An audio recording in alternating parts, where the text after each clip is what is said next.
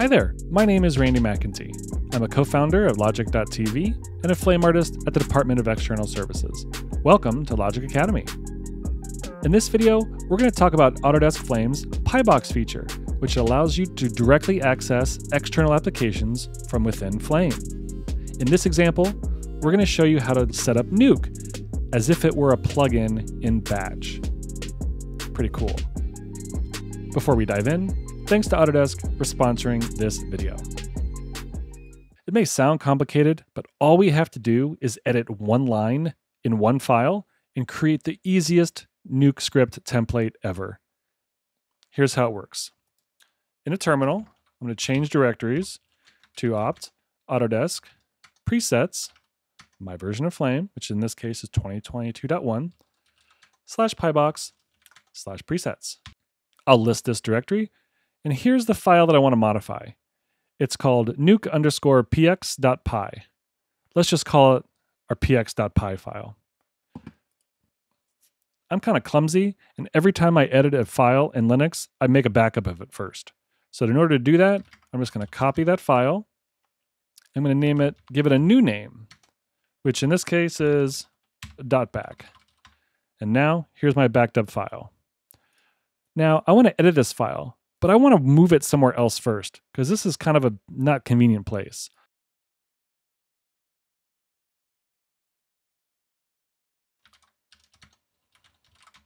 On my desktop called pybox.io.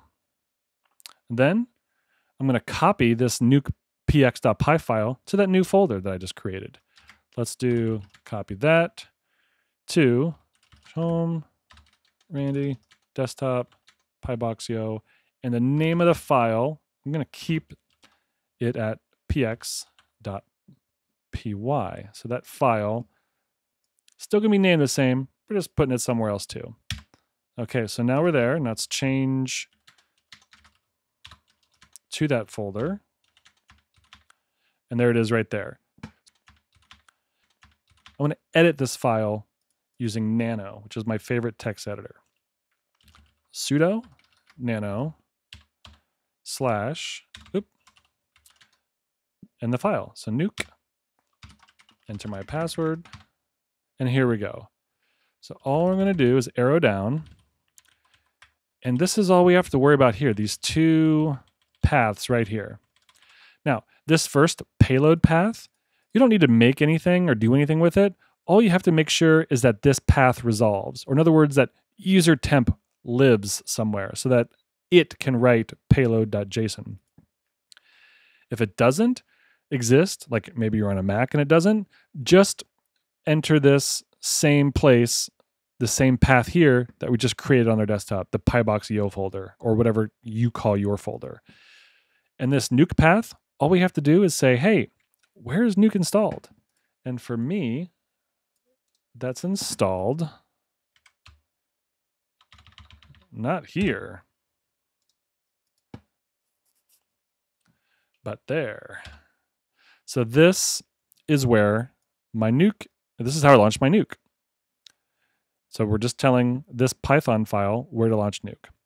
Okay, once we like what we see, I'm gonna hit Control O to overwrite, enter to enter, Control X to exit, and then just to double check, I'm gonna run that same command again. And yeah, this is what we just modified, so we're good to go. Control X, and now we should be good. So now we can launch Nuke and basically create a template for us to modify. So we first need a read node, and I'm going to grab any file. Whatever file you grab, it doesn't matter. But what does matter is that we change the name of that node. So the name of that node must be adsk underscore one underscore capital front number one. It has to be named this. If it doesn't, it's not going to work. Next, we're going to need a couple write nodes. And we need this to be named adsk underscore one underscore capital result number one. I'm going to make a copy of that. And we need this for the outmat. So we're going to call that outmat1. And again, it has to be named precisely that. So now what we'll do is we'll get a couple shuffle nodes.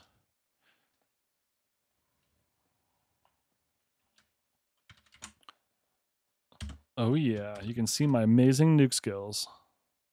More of a lame artist than a nuke artist. So this first shuffle node, all we're going to do is sever the alpha. And this other, we're going to get rid of these guys and just output the RGB alpha into the red, green, and blue channels.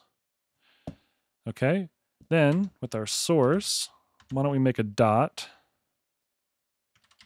and another dot just for a little tidy up, just so it looks nice. You know, overachieve. And now basically anything we put in between these two dots will end up accessible to us from within Flame. So let's do the world's worst composite. By blurring the heck out of this image. And then we're going to do the world's worst roto.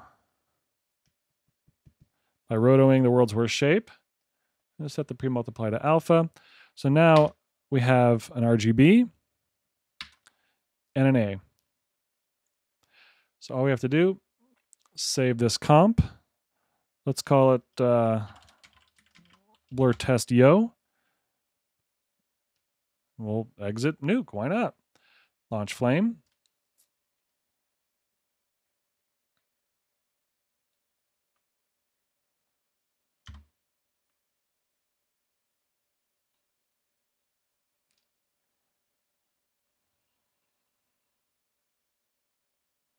step into batch. Let's load a new PyBox. Now, this first file we are going to load is the file that we modified. If you remember, I saved that into desktop PyBox.io and it was called nuke underscore px. Let's load that. So this effectively says, hey, Flame, your nuke instance is there. And now, once we have the handler selected, handler selections. Under the main page, there's a new composition, which we double click here, head to user home, desktop, PyBox.io, and here's our blur test. Hit F4. Flame in the background is going to launch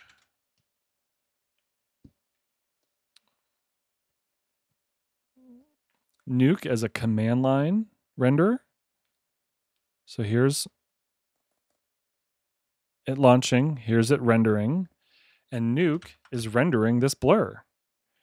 And if we're really good, here's our mux. There's our matte as well. So the F4, F4 toggle between the comp and the result works as well.